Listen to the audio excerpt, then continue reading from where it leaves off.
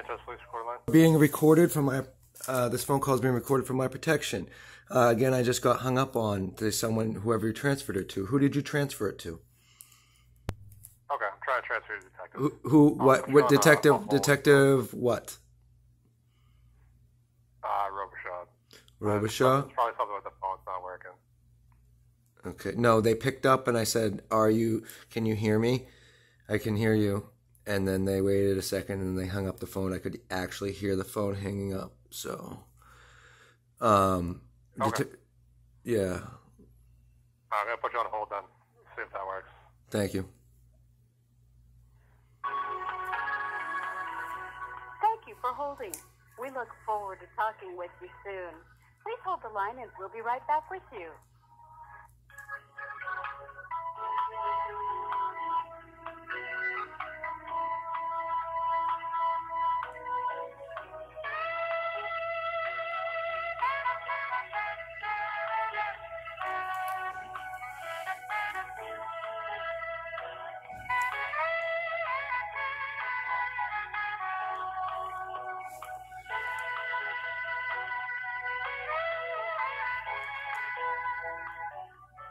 Thanks for holding.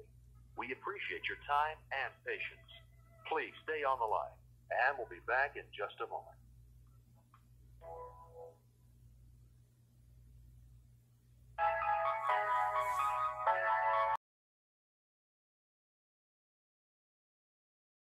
Hello. Hello? Hi. Hi, Detective Robichaud. How are you? Uh, I'm okay. Thank you, Detective. Um, my name's Robert Tanguay. Um, this is being recorded uh, for my safety. Um, so I was just hung up on uh, twice, but whatever that may be, let's get past that. So here's the deal. I've been dealing with uh, the abuse of my children and myself for over a year now. And um, I have everything put together, and it's at the court. Um, and we also have the administrator of the court saying that if there is any type of uh, malfeasance in the court, then you certainly should go to the police. I am at the police now. All these records are at the police um, and where there's fraud and human trafficking. So in your possession, you have a impossible, fraudulent, known false domestic violence protection order civilly never arrested, and such. And then there's also an order from the court asked for by the attorney in which they have ordered me to violate the protection order, in which you must immediately arrest. And therefore, I have not seen my children in over a year, and they haven't seen me out of nowhere. It is illegal.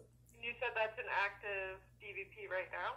Yes, they re-extended it. Not only was it fraudulent, but they re-extended it and sent it to you.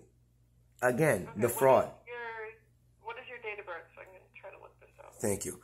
You said they re-extended it? Yep, on fraud. Without changing the order. So if you read When one, was this, go ahead. when was this re-extended? Um, in January, I think they applied in in late November, early December of twenty three. Okay. And then um, there was a hearing, which was not proper, in which they were told over and over again they know that it is illegal what they're doing, but they're Do you just know who it was that filed it? yes. Grand Heidi Ames, her attorney Heidi Like, Ames you're, filed it, you're cutting out a little bit. Who, who did you say it was? Yep. and attorney Heidi Ames, her attorney So filed it. the only DVP I see from that person um, shows the case was dismissed, so the, the DVP is not active anymore. When was that? In 2022. No, that's me. That's that's me filing against her. Okay. It says, yeah, that's the only one I'm seeing on here. I don't see any um, that are against. Uh, I would check again because you guys gave me a copy of it. Let's see. And it, it was in 2022 as well? Yes, December 13th. Oh, November 30th, 2022. It was filed Okay, I think I just found that one. Okay. Um, 2022. You have a you have a parenting open. Um, it's at Supreme Court right now. So I'm writing a motion for contempt because she's been lying. They're abusing my children, and I've tried to report this. I've read the entire criminal statute and the laws over and over again, and I've spoken. I'm very well researched.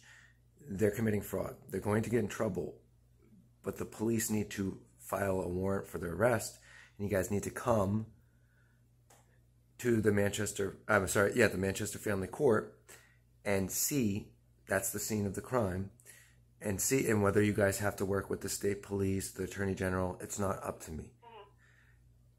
Okay. So what what crime are you trying to report? Human trafficking by abuse of the legal process. 633 colon 7. And also uh, fraudulent statements, whatever else may be in there, harassment and child abuse. It's it needs to stop. So you believe your ch- children are being abused? they're being abused emotionally by being kept unlawfully, unlawfully away from me, which is a form of abuse. I don't think that they're physically being hurt. They're just being emotionally abused. And there's a famous co- case called Miller v. Todd where it shows false allegations are just as, uh, and that's in the New Hampshire Supreme Court, false allegations are just as bad as the actual abuse itself. So, what I'm saying is, I'm trying to simplify it. they know that that protection order that was approved is physically and mathematically impossible. She does not have a sliding glass door. I did not initiate 1100 texts. And then also, which could be possible, but is not true, and I have additional evidence, she is not in fear of me. She's been hiding it in conjunction with her ex boyfriend, which is Windham police officer Daniel Dahl. So, I have text, I have printouts of the daycare, and she called me after the protection order was released. There is a tremendous amount that's involved in this case, but it needs to stop now because I just got a letter from my son, who's eight, a card saying he misses me more than anything. And I can't write back to him. And I've told the court this. The lawyer knows. So, how can we get an officer to come to the Manchester police? I mean, sorry, Manchester um, court so that they can see the evidence? Because last time a cop went, a detective O'Mara, or he's not even a detective, he didn't get the information, they didn't give him the information. And then he refused to contact me back. And so I'm I'm saying go ahead. Sorry. So right now, what I'm reading is that there's a final order Mhm. December of 2024 Mhm. where she has custody of the kids, and it's a court order. Yep. That's probably why you're not able to see them. No, well, but so if you look at, I'm not. Yes, you are correct. I'm not able to see them because they have a fraudulent order with fraud on it, physically and mathematically impossible findings of fact. They that's the same order that you're seeing. If you look at the findings of fact, that's the fraud, and then it orders me to not have contact with her at all. And then if you read 173b, it says that I cannot, and that proper procedure is to change the order. So you have a resubmitted order, which I told them they need to change the order because it's illegal. And they still did it because they don't want to confront the fact that they lied. They got caught lying, and the judge wrote fraud. So there's an order in the family court that's telling me, and then they held me in contempt for not using our family wizard and not meeting the kids at the police station where she admitted to going there, which would put me within 300 feet, which would be a violation of the protection order. And you, as the police station, police officers 173B says specifically, you are to read the order exactly as done. The proper procedure was would be for them to change the order, which would also open up the fraud again, and instead they've been burying it. So, So we have no control over the I, I know you don't, and But you you You're gonna have to go through the be No, no. I no, no. So you are one hundred percent wrong. You have a duty to take report of this, gather evidence, and conclude it. You are looking at evidence.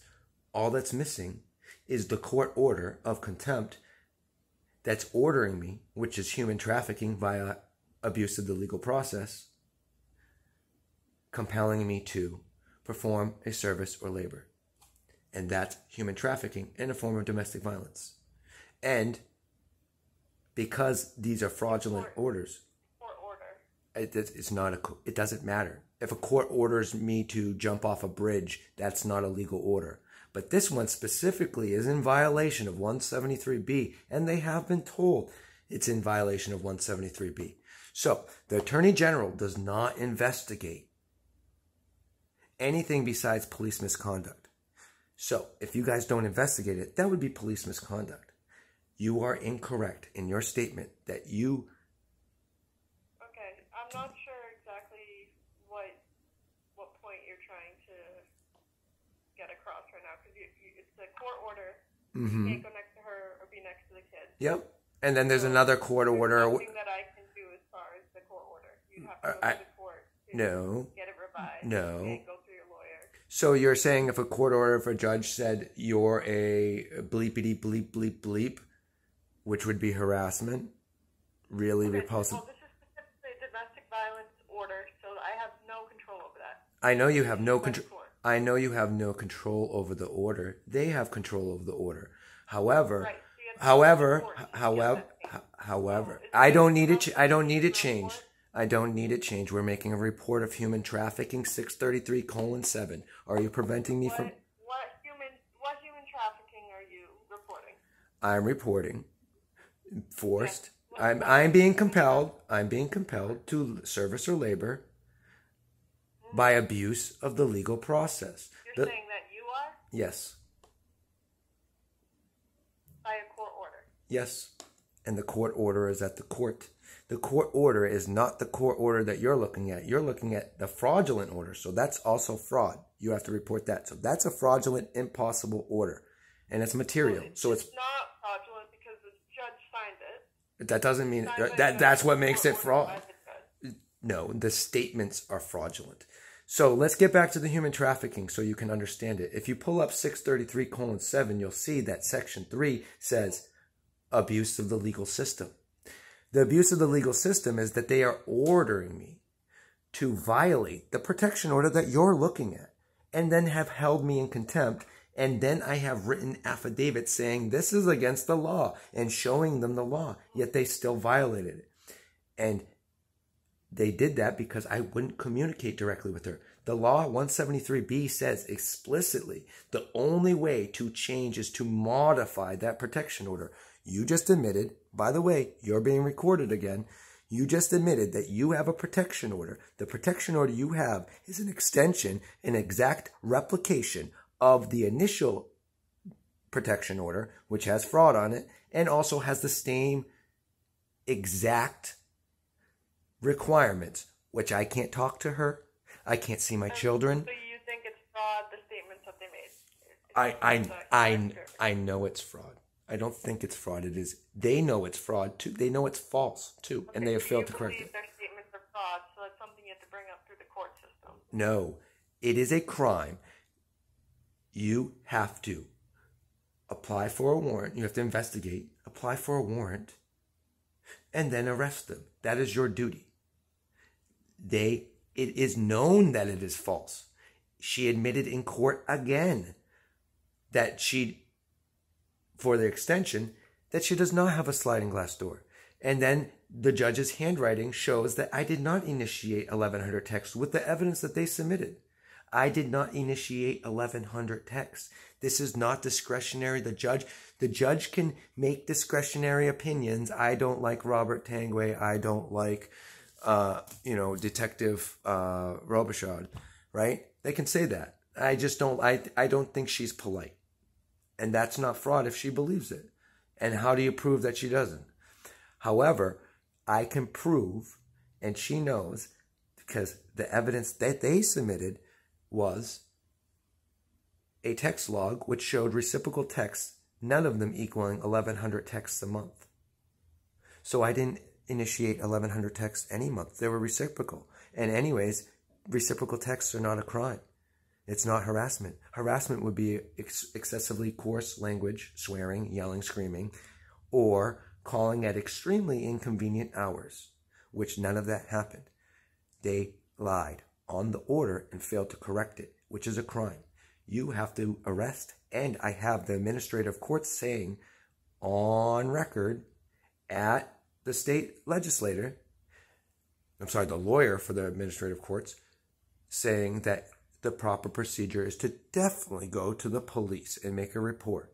So I'm making a report right now, and you guys need to come in and you need to investigate. We need to go to the Manchester police and actually look at the evidence because that is the scene of crime. I'm sorry, the Manchester Family Court with the Manchester police or the state troopers as well because it's a state property. So that's where the jurisdiction lies. And then look at the evidence and you will see that they know, signed affidavit, and they are conveying the fraud. They show sent an order, and then there's an order that's telling me to break that protection order that you have, and then there's a signed document by me saying you are ordering me to violate the protection order in which the police must immediately arrest. You have no discretion. But you have a domestic violence petition against you currently. Right. That's unconstitutional, by the way, and that's at the Supreme Court. But the matter at 173B is unconstitutional. Right of the accused, Article 15. You have to read the Constitution as an officer of the law because the Constitution is the supreme law. And it says that Article 101, the last, says that it is the supreme law of the land and it is attached to all law books. You have to follow the Constitution and the laws that are in. Okay. So that's why you'd have to arrest me. Alright, so I will pass this on to our domestic violence unit then. No, no, no, no, no, no, no, no. They they're the ones who are the problem. They No, can look into this because it's going to be through the courts because it's a domestic violence petition that you're. nope, um, nope, nope, about. nope, nope. We need to. When is a police officer going to come out? I'm filing a report. When is a police officer going to come to the Manchester Family Court and look at the evidence and then file for a warrant? No, that would be through the court. Yes, the police officer has to write an affidavit and then bring it to the courts and file it and apply for a warrant. Yes, that is correct. At the courts are the evidences that is the actual evidence that they know and they have it on record that they know that the orders are false and that they are against the law. Hence the 633 colon 7 human trafficking by abuse of the legal process. So, Detective Robichaud, do you have a special investigatory unit? Not domestic violence. Do you have a special investigatory unit? Who handles fraud, perjury? Who handles that? Yes, I can forward that to them. They're not on currently. Uh, I understand. There's no one working in that unit today. I So understand. will forward this information. Who would, who would that contact be? and give a. I, I appreciate that, but who would that con who would that be? They- I don't know specifically who it would be assigned to, but I can. fo- I'm going to forward it to that unit, and then they'll assign someone, and they can give you a call. Okay. Are you working tomorrow? No. Okay. When are you working next? Because I have to check in with you to make sure if I don't get a call back. I'm I, like, look it. It's not your fault. This isn't your fault. But I've been dealing with this in my so children. you would just call back in and um, request to speak to the detective unit, um, the domestic violence unit. I don't want to talk to the domestic violence unit. We already went over it. There's a special investigations unit, not domestic violence unit Okay, for which which type of crime? For fraud. And these are complex Uh, crimes. These aren't Officer Doofy crimes. So, how? No, I no no not okay. I don't understand. I, pardon me if I'm slow. So I, I already told you that we're not going to the domestic violence unit. That we're not dealing with this. Yes, so you call in and to speak with the detective that deals with the fraud, and I'll forward it to them, they can look. Yeah, but that's not the domestic violence unit. Right. I understand. It's not domestic violence unit, no. Okay. So what is the unit called? I can't, I'm not going to go through this again. I've been on the phone for 18, 19 minutes right now. I'm not going through this again. We're moving forward with this. So, I've re- already explained to you. Call in, you ask for general investigations in reference to a fraud. They're gonna, and then they'll forward it to whatever detective's gonna be working it. General, not special investigations. So who are you sending it to? You just told me you're going to send it to. General general investigations. Okay. So, do you have my information? Yes. What What's my phone number? The dispatchers have it, and we should have it on file as well. Okay. So, All right. are you going to send that out? You're going to send it out. You're going to take action because I'm going to hold. When are you on next? Because I'm telling you, they're just going to run me around. Detective Robichar, you have a duty, okay, to follow this through. So when are you on next? Because they're going to run me That is around. irrelevant to this. Okay. This is in regards. Do you have any other questions? Yes. When I need to follow up with this, okay? Right, and you can you can call in to follow up with it. Okay. Just tomorrow because most And so, tomorrow- so what are you, what are you sending them? That's my question. What are you sending them? uh, you had concerns about fraudulent um, things on your domestic violence petition. And uh, what's the statute for human trafficking? I know this. Listen, is that is that all you need? Is that is that it? So, what's the statute for human trafficking? Do you know it? So I'm not doing this this game of circles. If, if It's not- all you needed, then I'm, I'll forward the message. It? It's not a game of circles. You don't. You're not writing a message. You're for- forwarding nothing. You didn't even mention human trafficking by abuse of the legal system because you don't understand the law. You're, you're a detective. I'm gonna forward the message. You can have a good night. All right. The it's six thirty three colon seven.